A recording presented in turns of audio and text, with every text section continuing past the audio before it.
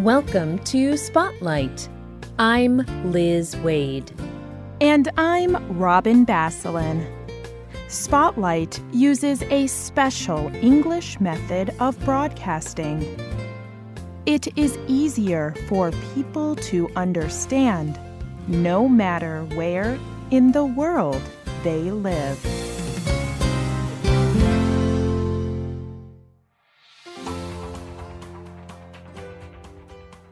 In 2010, Wesley Korir worked as a maintenance man.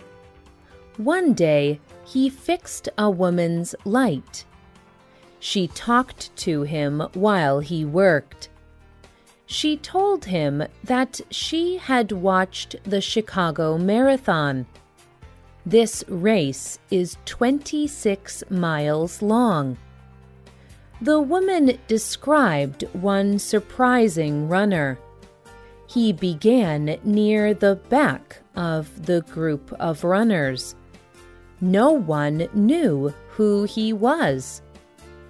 But he began to run past all the other runners.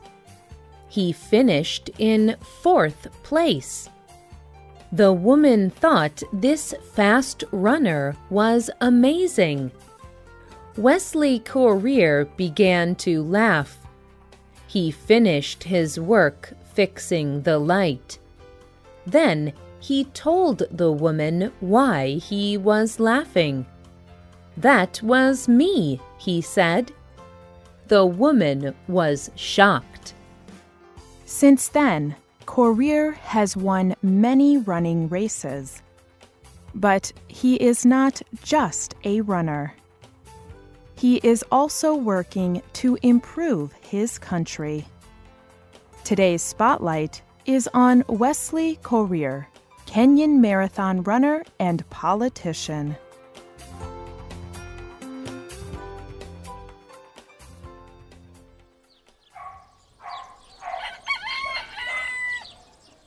Wesley Korir grew up in Kitale in western Kenya. Like many people in the area, Korir's family was very poor. They lived far from the nearest town. It took a long time to walk anywhere. So Korir would run to get there faster. He ran three miles to the store to buy things for his mother. Every day, he ran five miles to school in the morning and five miles back in the afternoon. And he also ran home for lunch and back to school again. Friends and teachers began to notice Korir's running abilities. In Kitale, there were not many opportunities for Korir. So his teachers encouraged him to train in the United States. This was not an easy process. Korir had to do a lot of difficult paperwork. He also had to find money. But he did not give up. He told Sports Illustrated magazine I feel like God has given me this talent for a reason. Money would not have gotten me to America. Money would not have got me where I am. Not riches, just God.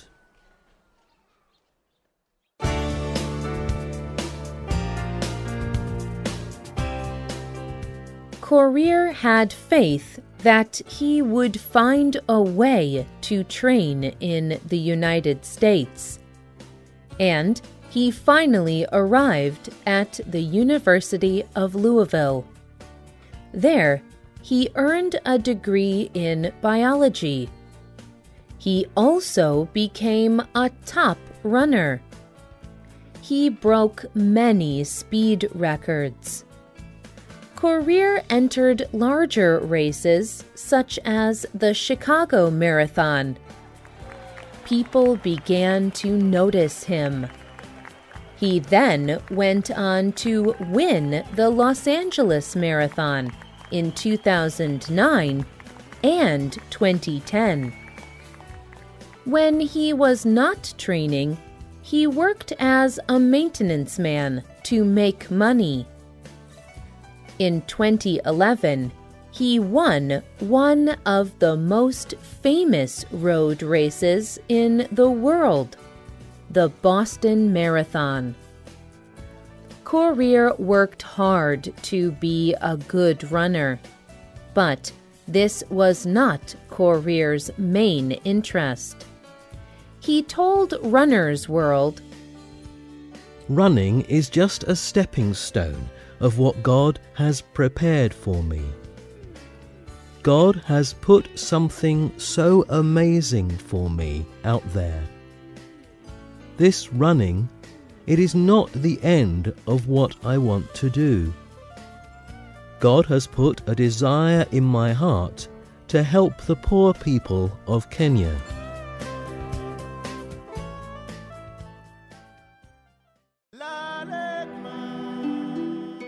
Wesley Korir never forgot about his home country of Kenya. In 2007, he was in Kenya to visit his family. At this time, there was a violent conflict between different tribal groups. This conflict caused a lot of harm to people and property in western Kenya. Korir even saw a crowd kill three of his friends. Korir decided that he needed to do more for the people of Kenya.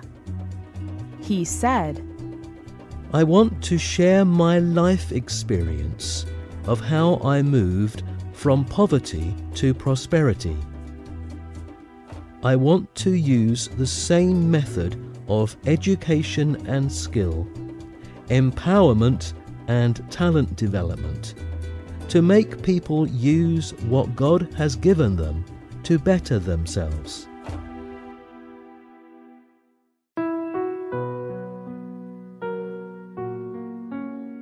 In 2010, Korir and his wife Tara began the Kenyan Kids Foundation.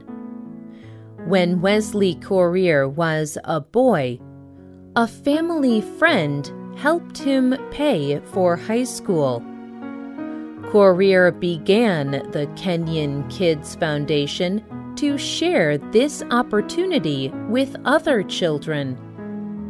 This organization helps children who cannot pay for school.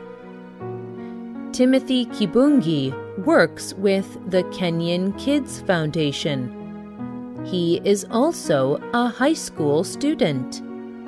Kibungi talked to the website The Voicebox Media. He told how Korir has encouraged him. I want to follow the way Wesley has done. I want to help people. Even now, I do not want anybody to pay me. It is God who gives me a good mind the knowledge to study and learn.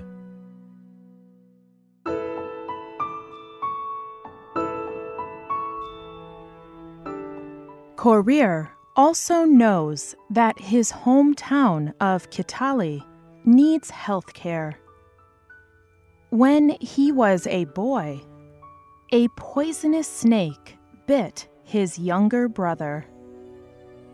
Korir's family had to carry him over 30 kilometers to the nearest hospital. His younger brother died of the snake bite before doctors could treat him. This experience pushed Korir to help improve healthcare in his home area. With other supporters, he built a new hospital and brought better doctors to Kitale.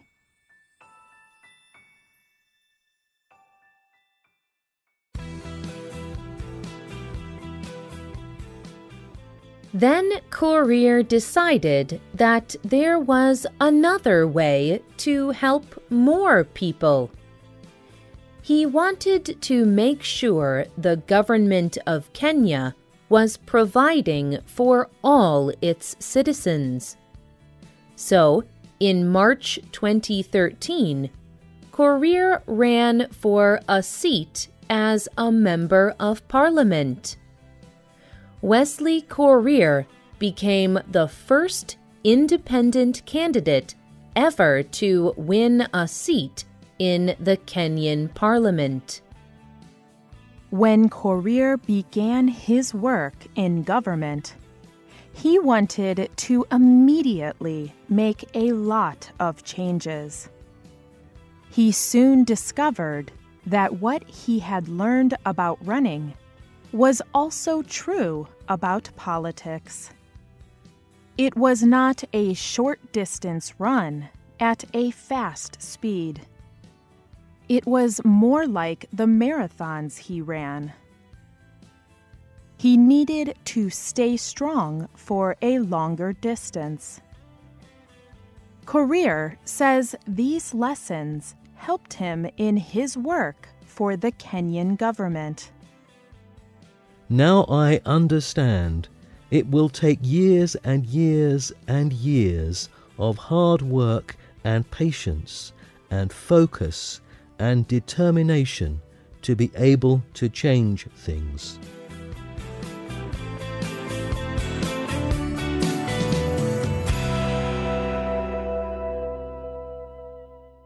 Korir still trains as a runner.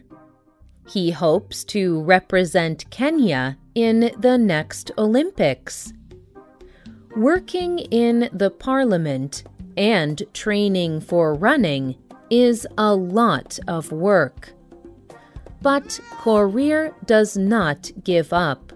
He says, I always tell people aim for the moon. If you miss it, you land at the stars. The writer of this program was Rena Dam. The producer was Michio Ozaki. The voices you heard were from the United States and the United Kingdom. All quotes were adapted for this program and voiced by Spotlight. You can listen to this program again and read it on the internet at www.radioenglish.net. This program is called Wesley Korir Running for God and Kenya. You can also leave your comments on our website, or you can email us at radio at radioenglish.net. And find us on Facebook. Just search for Spotlight Radio. We hope you can join us again for the next Spotlight program. Goodbye.